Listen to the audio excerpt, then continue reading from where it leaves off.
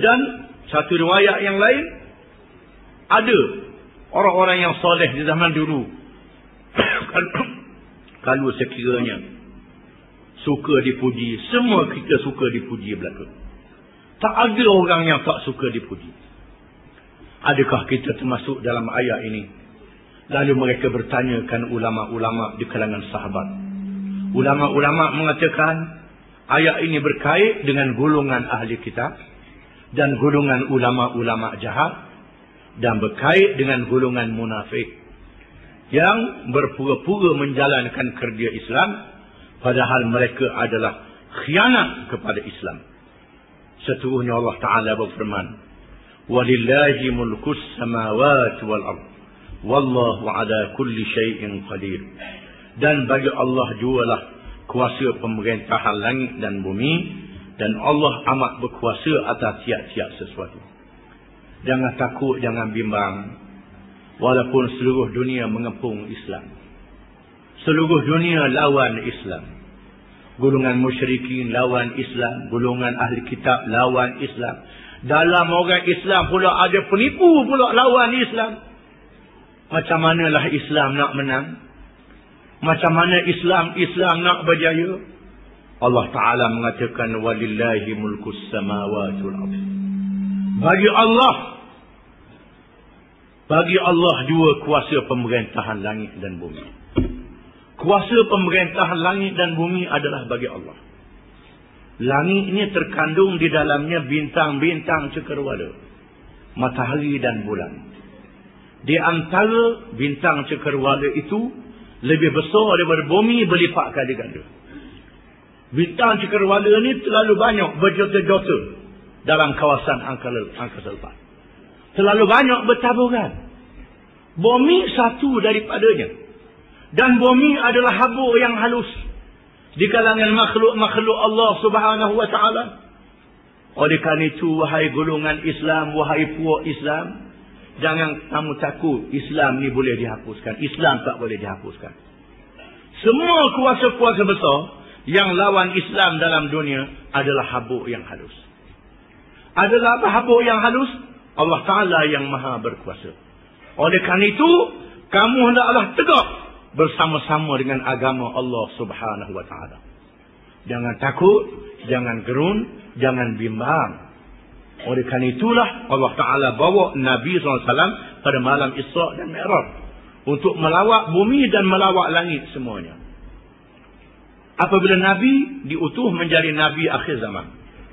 Kerasulannya untuk seluruh manusia termasuk kuasa-kuasa besar dunia. Parsi dan Rom. Parsi dan Rom adalah kuasa besar dunia. Sedangkan dakwah sudah dihalang di Mekah. Mereka Mekah sudah dihalang. Macam mana nak lawan kuasa besar Parsi dan Rom? Macam mana? Lalu Allah Ta'ala bawa Isra' dan Iraq. Tunjuk ke Nabi, bumi dan tunjuk segala langit kebesaran Allah Ta'ala, bumi adalah habuk yang halus saja.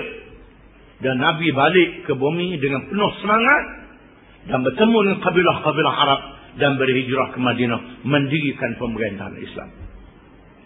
Almarhum Dr. Burhanuddin Al-Hilmi mengatakan, kita dalam dunia moden hari ini berada di hadapan dua kuasa besar dunia. Iaitulah kuasa besar barat dan kuasa besar timur. Kuasa besar barat, iaitulah kuasa besar yang pimpin oleh Amerika. Bersama dengannya British, Perancis, Jerman, Itali dan lain-lain. Ini kuasa besar barat. Dan di sana kuasa besar timur.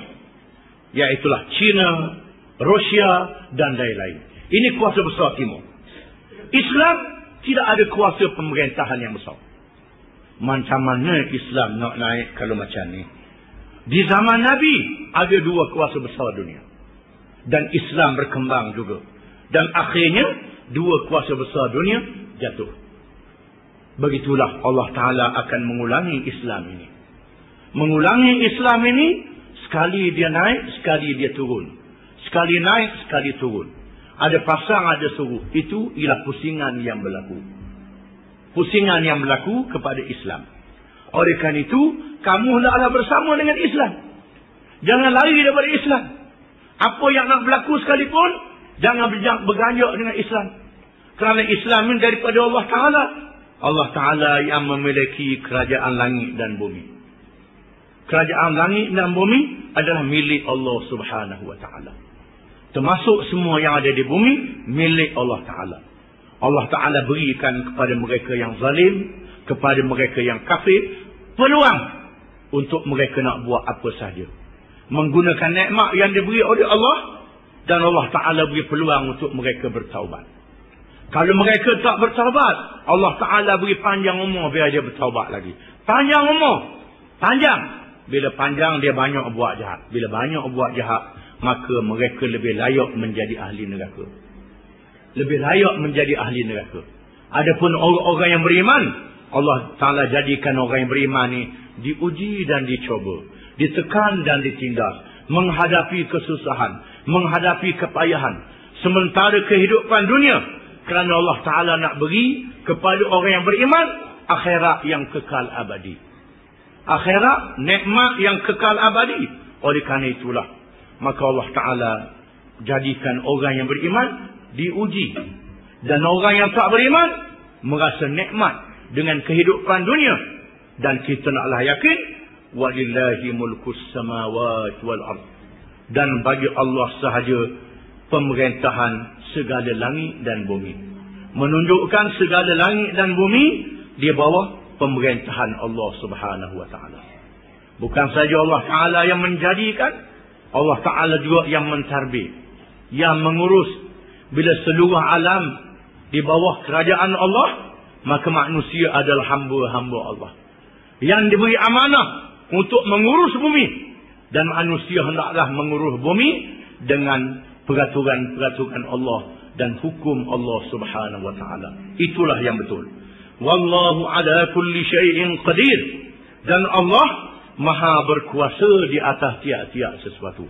Allah Taala Maha berkuasa nak mengubahkan alam dalam sekelip mata. Bukan dalam tempoh yang panjang, dalam sekelip mata Allah Taala boleh buat dan Allah Taala boleh hapuskan dalam sekelip mata. Oleh kerana itu, wahai Muhammad sallallahu alaihi wasallam, wahai umat Muhammad sallallahu alaihi wasallam wahai pengikut Muhammad sallallahu alaihi wasallam yakinlah dengan Islam yakinlah dengan Islam dan yakin bersama dengan Allah taala kalau kita bersama dengan Allah dengan agama Allah maka selamat kita dunia dan selamat kita di hari akhirat kalau kita lari daripada agama, Allah ikut yang lain jawab dia celaka dan jahanam di dunia dan di akhirat Wal'iyadha billah. Sekian. Wallah.